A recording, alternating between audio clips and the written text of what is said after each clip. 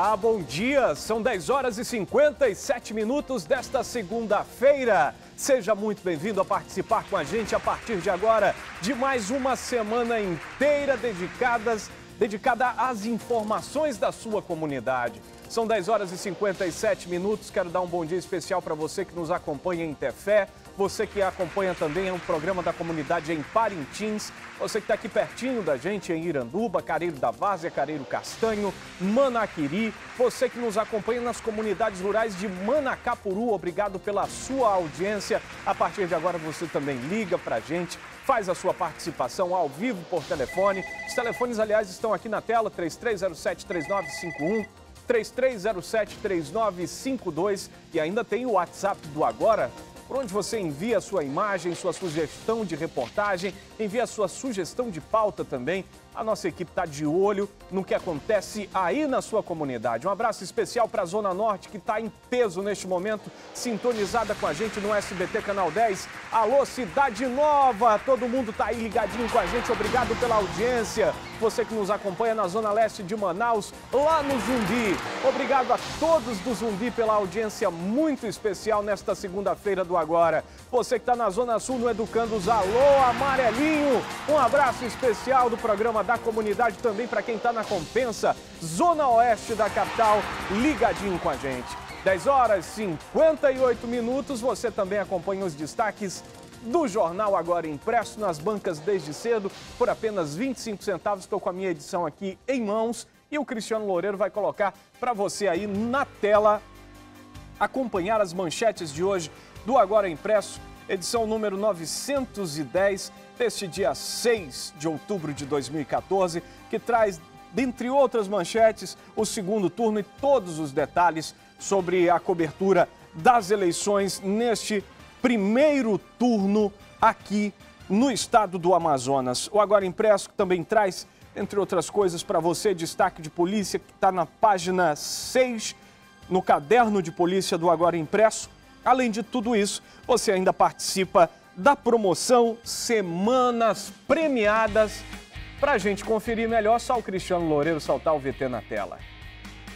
Começou mais uma grande promoção com o apoio do Agora. Semanas premiadas. Seja criativo e concorra a um super prêmio toda semana. Tem armário de cozinha, fogão, geladeira, moto e muito mais. Para participar é facinho, facinho. Recorte o cupom vindo junto com o seu jornal Agora, preencha com seus dados e responda a pergunta da semana. A resposta mais criativa leva o prêmio. Participe! Toda semana tem um prêmio diferente. Semanas premiadas. Uma promoção com o apoio do Agora. Você sabe, toda sexta-feira você conhece aqui um dos ganhadores dos Semanas Premiadas. Tem muitos prêmios. Aliás, está chegando aí o Dia das Crianças e parece que tem premiação especial. Você que é paizão, mãezona, que acompanha o programa da comunidade diariamente, é só comprar o Agora Impresso, recortar o cupom, preencher com a frase criativa nome, endereço e telefone e já está participando dessa mega promoção por tempo ilimitado, que é as semanas premiadas do Agora Impresso, o jornal que também tem a cara da comunidade e muita informação para você de casa. Hoje o programa agora está dedicado com uma programação muito especial sobre o balanço das eleições neste primeiro turno em todo o estado do Amazonas e também aqui na capital. Todas as informações sobre os eleitos, um comparativo do número de votos, você vai conferir ao longo desta edição. E para a gente começar falando desses destaques no programa de hoje, Tatiana Sobreira ao vivo, do anexo do Tribunal Regional Eleitoral do Amazonas, lá no Parque das Laranjeiras, no campus da Universidade Newton Lins, já está aqui comigo para trazer suas primeiras informações. Olá, Tatiana Sobreira, bom dia para você e para a equipe do programa da comunidade. Bom dia também, Amaral. Bom dia a todos aí do estúdio. Bom dia a vocês de casa. Assim, desde ontem, aliás, a semana inteira, a equipe do SBT, daqui de Manaus, da TV em Tempo, vem fazendo a cobertura do antes e também durante as eleições. Hoje, aqui nesse anexo, Amaral, do TRE, tranquilidade. O anexo está fechado. Algumas pessoas que vieram até aqui também adquirir informações tiveram que ir até a base principal do TRE, que fica na André Araújo, no Aleixo. Mas daqui, a gente vai fazer um balanço do que foi durante o dia da votação lixo espalhado por toda a cidade. Você vai acompanhar também matéria exclusiva aqui, depoimentos também da Secretaria de Meio Ambiente e também da CEMUSP, onde já está fazendo um mutirão de limpeza, que, segundo o prefeito daqui da capital, diz que até a quarta-feira vai fazer uma operação limpeza geral na cidade. Daqui a pouquinho eu retorno contigo falando sobre isso. Amaral, é contigo. Obrigado, Tatiana Sobreira, falando ao vivo lá do anexo do Tribunal Regional Eleitoral do Amazonas, que fica lá no Parque das Laranjeiras, que daqui a pouco traz esse destaque lamentável, né? Um balanço que a gente faz aqui das eleições que não foi dos melhores, que diz respeito à limpeza pública. Parece que esqueceram o legado das eleições de 2012, quando inclusive o Tribunal Regional Eleitoral do Amazonas ganhou o prêmio Inovare por ter uma das eleições mais limpas do país. Esqueceram isso de uma tal maneira que a cidade, não, não só a cidade, mas capital e região metropolitanas, pelo, pelos locais que eu passei e observei, uma enorme quantidade de lixo proveniente de cabos eleitorais que não entenderam ainda o recado de que sujando a cidade não se ganha voto. Não se ganha voto, essa é uma realidade e eu espero que esses candidatos sujões, daqui a pouco a gente vai voltar a comentar sobre este assunto, espero que sejam penalizados duramente pela, pela justiça ambiental, pela vara de meio ambiente aqui da capital. São 11 horas, 3 minutos. Você que está em casa, agradecemos muito sua participação e audiência. Eleições é apenas um dos destaques de hoje do programa da comunidade que você liga, participa e denuncia. São 11 e 3. A gente fica junto até meio-dia e 25, sempre conectado no seu bairro, no seu município e na sua comunidade. Solta a vinheta, Cristiano, porque o Agora já começou.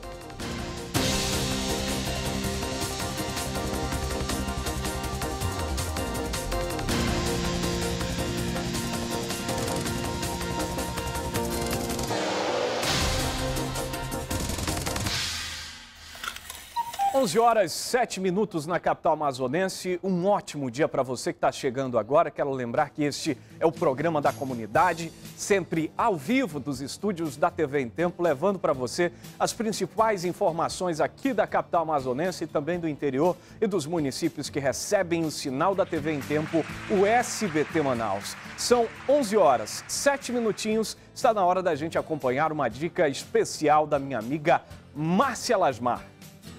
Promoção é na CLA. Essa manta de microfibra, R$ 39,99. Tá querendo trocar as toalhas? A hora é essa. Tá aqui R$ 12,99 de todas as cores para combinar com a decoração do seu banheiro. E olha só esse roupão show de bola, tanto para ela quanto para ele, para dar aquela pinta quando sair do banheiro. R$ 49,99. Agora você tá querendo? Trocar os lençóis da filha, arrumar aquela cama que está toda bagunçada porque ela chega e joga tudo, essa aqui é o lençol. Olha só esse kit. Kit todo florido, show de bola para arrumar o quarto da filha. Pensa que é só isso? Não é só isso não, ainda tem esse travesseiro aqui multicolor 9,99. Agora não adianta ter tudo isso em uma casa que não está cheirando bem. A CLA também tem aromatizantes. Vem comigo! Tá bom, já comprou toalha nova, já comprou aquele roupão, agora decorou a cama da filha. Agora tá na hora de botar esse ambiente para cheirar. Olha só, difusores de ambiente estão todos aqui: pitanga, bambu, capim-limão, todos aqueles cheiros maravilhosos que eu tô sentindo. Pena que você não tá sentindo aí, mas é muito fácil só chegar aqui na CLA, que tem no Manauara Shopping e no Amazonas Shopping comprar o seu. Compra tudo, porque CLA tá cada vez mais perto de você. Tudo bem, são 11 horas e 9 minutos. Depois da dica da Márcia Lasmar, nós vamos falar de eleições no programa da comunidade. Você que nos acompanha na capital e no interior, é bom a gente lembrar que tivemos as maiores eleições da história do nosso país, da história da democracia brasileira mais de 140 milhões de brasileiros estiveram nas urnas nesse domingo, participando deste movimento democrático das eleições diretas, onde os nossos representantes são escolhidos por meio do voto direto, ou seja, da minha decisão e da sua decisão. Foram mais de 500 mil urnas eletrônicas espalhadas por todo o país. Teve a, implantação do voto biométrico em pelo menos 700 cidades. Aqui no Amazonas, sete municípios já participaram do sistema de votação biométrica. É a evolução da urna eletrônica, um dos sistemas de votação mais seguros e completos do mundo. Por isso, o Brasil dá exemplo em democracia e como é bom esse exemplo democrático quando a gente observa o eleitor acordando cedo, com a vontade de decidir, com a vontade de fortalecer o sistema democrático do nosso país, indo em direção ao seu colégio eleitoral, à sua sessão, levando o seu título, levando o seu documento de identificação e fazendo questão de assinalar, né, de, de ser um signatário de um processo democrático e dizer que aquele ou aquela candidato eleito teve a participação direta dele. Ainda que o candidato votado perca, é importante isso, porque fortalece o sistema democrático brasileiro e foi assim por todo o país, não é à toa que nessas maiores eleições da nossa história temos segundo turno para presidente da República, o cargo mais alto da nossa democracia vai ser decidido em segundo turno. E aí você pode me perguntar, mas para que serve o segundo turno? Serve para reforçar ainda mais o sistema democrático, para que sejamos uh, é, um sistema amplo de decisão, para que o presidente ou a presidente eleita tenham ali a ampla maioria eh, de votos decididos em uma segunda modalidade, onde são eliminados os candidatos com menor votação. É para isso que serve o segundo turno de eleições, que pela primeira vez no estado do Amazonas acontecerá.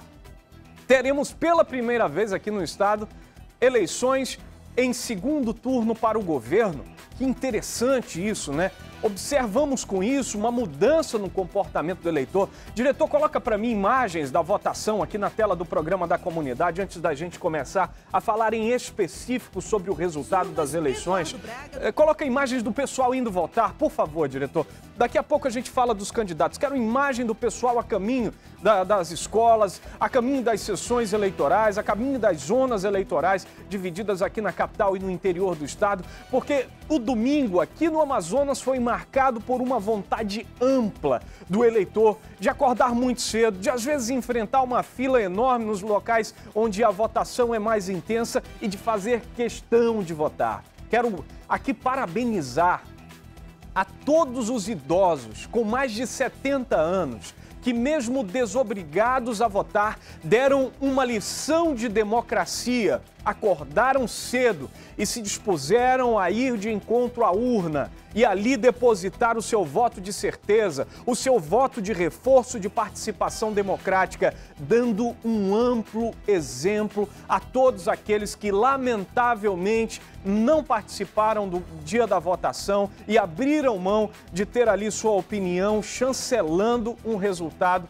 dessas eleições no estado do Amazonas. Meu amigo, pela primeira vez na história, vamos ter eleições em segundo turno para o governo no estado do Amazonas. Isso significa que o comportamento do eleitor está mudando, que o eleitor, é, que, que as eleições estão mais acirradas, que as opiniões estão mais divergentes e o que isso significa? Significa que a nossa democracia está aprimorada.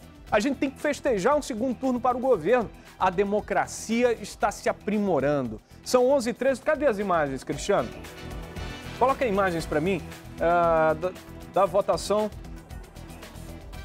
Tem aquelas imagens?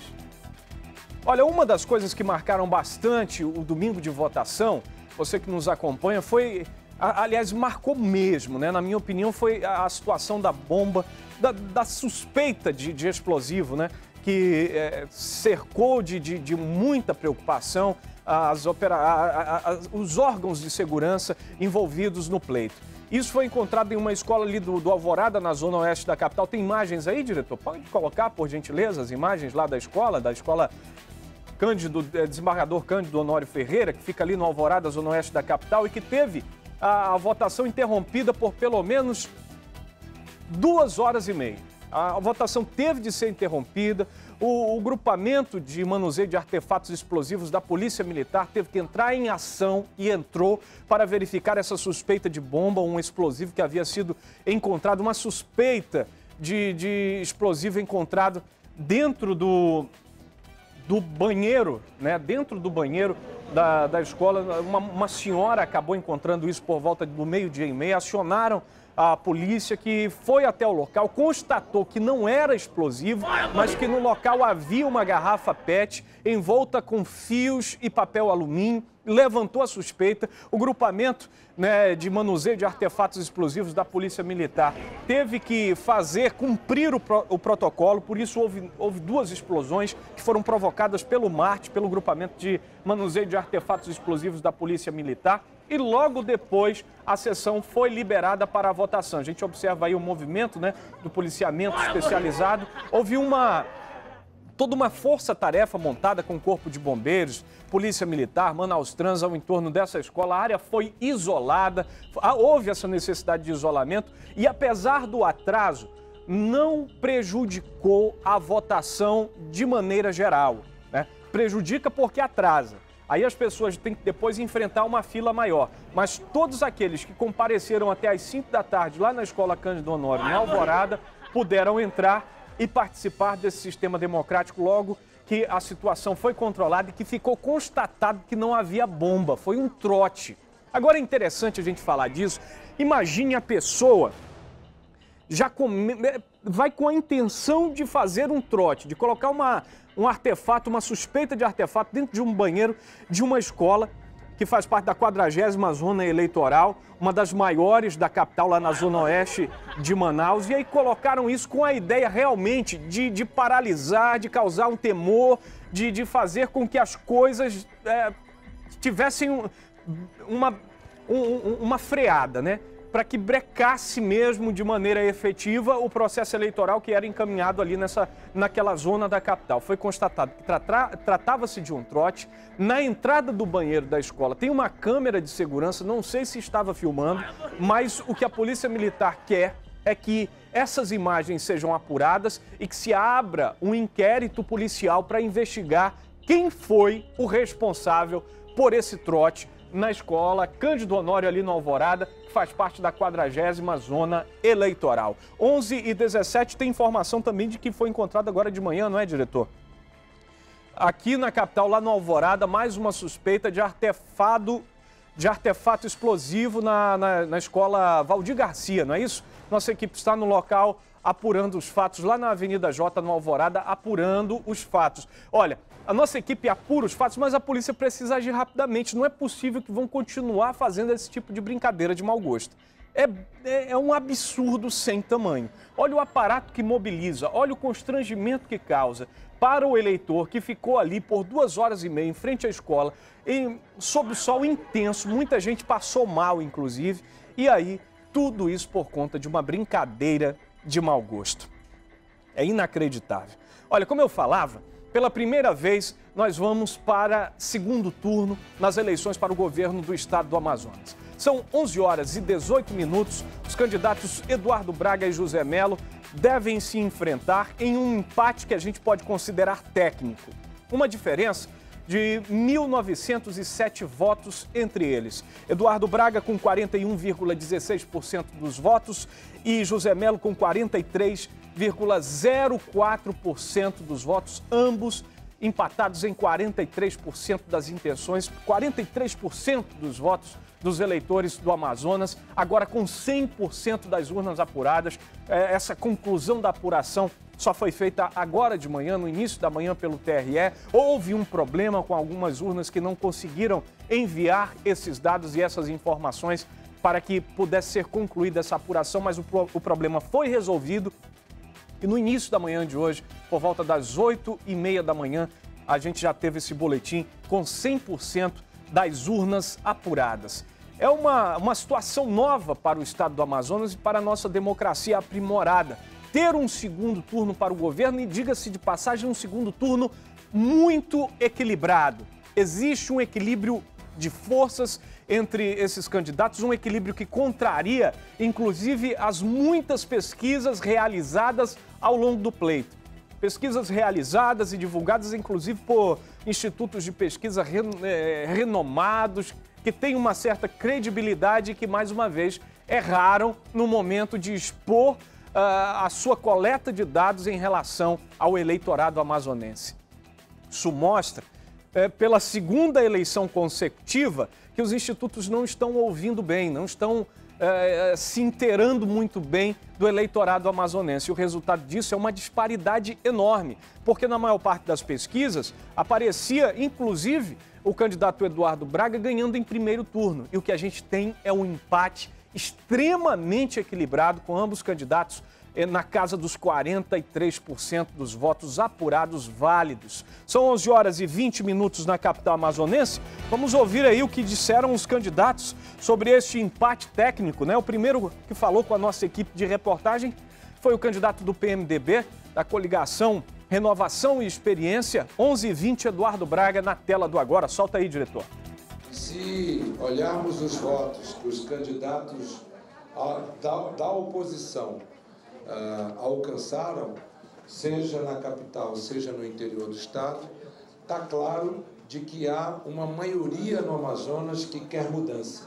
Há uma maioria que quer, portanto, que mude o que está acontecendo na saúde, mude o que está acontecendo na segurança, mude o que está acontecendo na educação, aonde nós perdemos seis pontos, aliás, seis posições no IDEB do ensino médio e que nós possamos avançar com um projeto ah, de desenvolvimento que gere emprego e renda. Portanto, há uma maioria ah, esmagadora dos eleitores, tanto da capital quanto do interior do estado, que querem mudança no Amazonas. Eu gostaria de poder agradecer a esses eleitores que confiaram em mim e na Rebeca, eu quero dizer da nossa, do nosso entusiasmo para o segundo turno da eleição e quero dizer que pela primeira vez na história do Amazonas tem segundo turno para governo do Estado. É, nunca aconteceu isso. Nunca uma candidatura a governador pelas oposições ou pela oposição tinha conseguido levar a eleição para o segundo turno e tinha conseguido ganhar as eleições no interior do Amazonas. Nós conseguimos é, levar a eleição para o segundo turno e conseguimos ganhar a eleição no interior do Amazonas. Compete,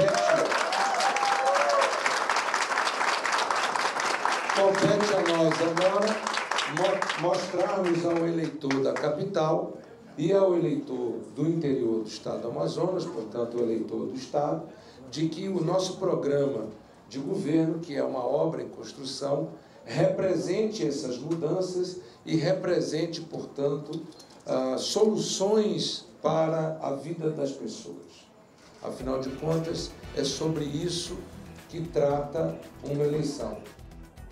Muito bem, essas foram as palavras do candidato senador Eduardo Braga, candidato do PMDB a, pela, pela coligação Renovação e Experiência. Ele falou logo depois né, do, do resultado, quando tinham já 98% das urnas apuradas, e em entrevista coletiva colocou essas palavras. O candidato José Melo do PROS, governador do estado do Amazonas, que concorre à reeleição, que começou uh, nessa, nessa, nesse embate né, com, com Eduardo Braga pela corrida uh, para o governo do Amazonas, com apenas 2% das intenções de voto que conseguiu levar as eleições para o segundo turno, também falou deste resultado. São 11 e 23 na tela do agora o candidato do PROS, José Melo. Chegamos onde chegamos e o Omar tinha razão. É como eu disse, vamos agora comemorar e vamos depois estabelecer a nossa estratégia. Todos nós juntos, sempre fizemos isso. Essa é uma eleição de todos, tanto é a abertura do nosso programa é o povo todo juntamente conosco e é desta forma que vamos continuar. Vamos sentar, Marco, tu, os nossos companheiros deputados estaduais e federais, com os nossos companheiros de marketing, com os nossos amigos todos, enfim, e juntos estabelecermos a estratégia. Quero aqui aproveitar a oportunidade para dizer, para parabenizar aqueles que lograram o êxito da nossa coligação, e dizer àqueles companheiros que não chegaram lá, que eles são nossos, nossos amigos, eles estão ao amparo do nosso trabalho, do nosso futuro. Nossa coligação é de todos nós. Nós não deixamos ferido no campo de batalha. Todos, portanto, estamos aí para juntos estabelecermos a estratégia que vai, com certeza, nos dar a vitória no segundo turno. Eu sempre falei a grande pesquisa era aquela que ia acontecer no dia 5, que era a vontade do povo, não é? E vocês viram que eu não fiz nenhuma pesquisa, não registrei nenhuma pesquisa, não fiz nada. Seguimos, como eu disse, numa linha de apresentação de propostas sem nos arredar, apesar de todas as armadilhas que foram colocadas nesse pleito do primeiro turno, onde não só meu parceiro e amigo Omar Aziz e sua família, como eu também e a minha família, fomos aí é, tentados a nos arredar desse caminho. Não o fizemos. Então, imagino que isso deu ao povo a segurança de que tínhamos um candidato com muito equilíbrio, porque equilíbrio é o que precisa para governar o Amazonas. Feita aí José Melo, governador do estado do Amazonas, candidato à reeleição pela coligação Fazendo Mais por Nossa Gente, que tem o PROS e o PSD como partidos majoritários. Aliás, o PSD que elegeu o governador Omar Aziz para o Senado com 58% dos votos válidos. São 11 horas e 26 minutos, também diferente do que diziam as pesquisas. É importante a gente relatar isso, porque no fim das contas é o eleitor quem manda no sistema democrático brasileiro. São as urnas que falam realmente o que acontece. Dizia-se muito de que Marcelo Ramos, o candidato do PSB, seria um fiel da balança e que os votos deles, os votos eh, imputados a ele, levariam a eleição para o segundo turno. Isso não aconteceu por conta do resultado equilibrado. No entanto, o candidato do PSB teve uma votação expressiva, ficando em terceiro lugar com 10,94% das intenções de voto, 179.758 votos. E ele também, em entrevista coletiva, falou à nossa equipe e, e relatou a sua opinião sobre esse resultado de eleições. 11h27, Marcelo Ramos, do PSB, na tela do Agora. A nossa candidatura só foi responsável pela garantia do segundo turno, porque nós tivemos, e isso é fundamental, a maior votação da história de uma candidatura de terceira via no estado do Amazonas. Nós tivemos, nos últimos tempos, algumas candidaturas de terceira via. A candidatura do hoje prefeito de Manaus, Arthur Vigílio, ao governo, que teve 6% dos votos. A candidatura do hoje vice-prefeito de Manaus e deputado federal eleito, Issa, que teve 10% dos votos, teve menos de 10% dos votos, 9 ponto alguma coisa, 110 mil votos. E nós fechamos essa eleição com 180 mil votos com 11, quase 12% dos votos. Mas o que é mais interessante é que desses 12% dos votos, nós tivemos na cidade de Manaus, nós tivemos só na cidade de Manaus 167.500 votos. Foram 17,31% dos votos em Manaus. E aqui eu abro um parênteses para registrar que a pesquisa do IBOP nos dava 5% em Manaus que a pesquisa do Instituto vinculado à Rede Tiradentes, publicada ontem, nos dava 6% em Manaus, que a pesquisa da Action nos dava 5% em Manaus e que quando as urnas se abriram, nós tivemos 17,31% em Manaus.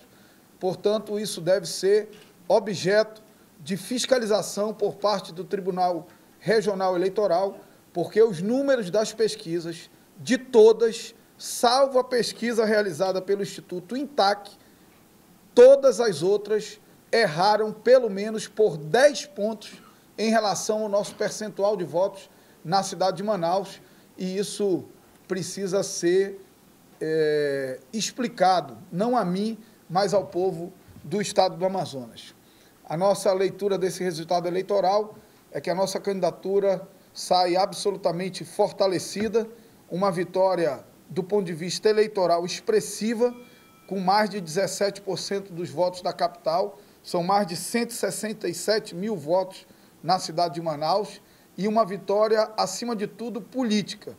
Vitória política na medida em que, em todos os locais, no local que nós conseguimos chegar verdadeiramente com campanha, que foi a cidade de Manaus, nós tivemos um resultado muito expressivo.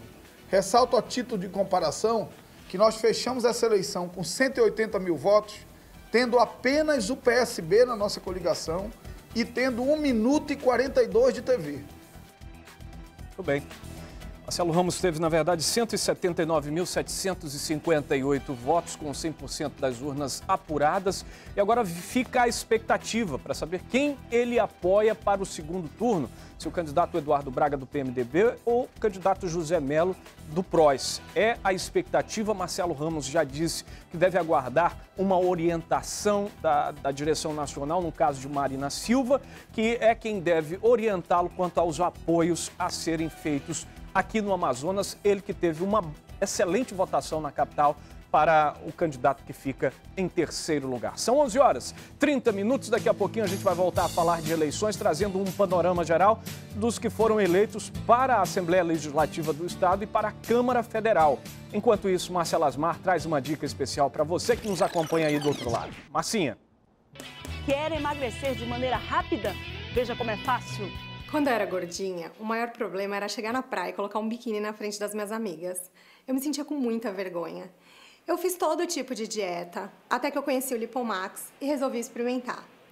Deu super certo. Eu perdi 7 quilos, gente. Olha como eu era e olha como eu tô agora. Eu tô muito feliz com o meu corpo, eu tô realizada e isso é graças ao Lipomax.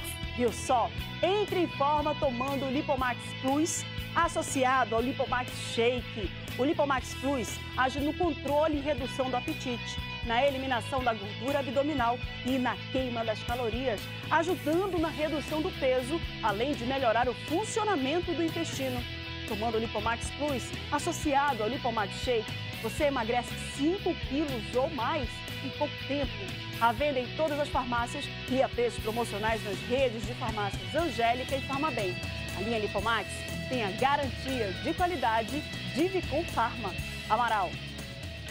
11h32, já já depois do intervalo, o programa Agora, que é o programa da comunidade, traz informações sobre mais uma ameaça de bomba na zona oeste da capital. Uma escola do Alvorada foi evacuada e o batalhão antibomba trabalha para tentar identificar ou não a presença de explosivos no local. E você vai ver ainda as informações sobre o corpo do policial militar que estava desaparecido em Maués e que foi encontrado nesse domingo. 11 e 32. Obrigado pela sua audiência. O programa agora volta em instantes. Não saia daí.